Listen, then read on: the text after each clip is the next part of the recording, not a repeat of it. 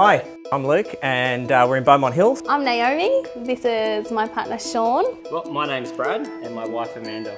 I'm Anthony, this is Sammy, my wife. We're the very proud uh, winners of the Energy Australia Tesla Powerwall battery system.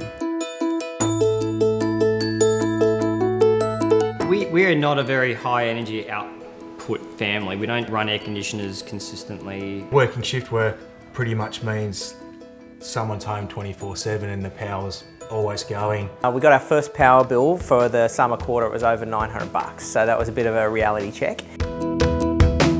I think we've used most energy on heating the water and probably heating and cooling. We have, you know, 10 loads of washing a day with two little kids. Well, I'm a huge fan of renewable energy. I love it. It's, I love the idea of it. You know, it's nature, it's there.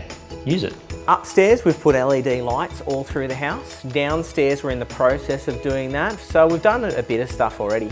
Uh, the solar panels and the Tesla wall is going to be, going to be brilliant for us though.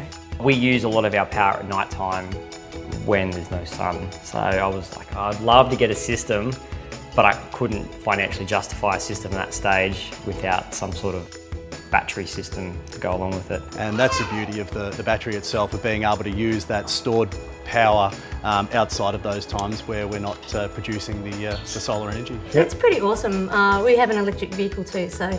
To be able to have that satisfaction of driving down the road knowing that my car is being powered by the sun is absolutely fantastic.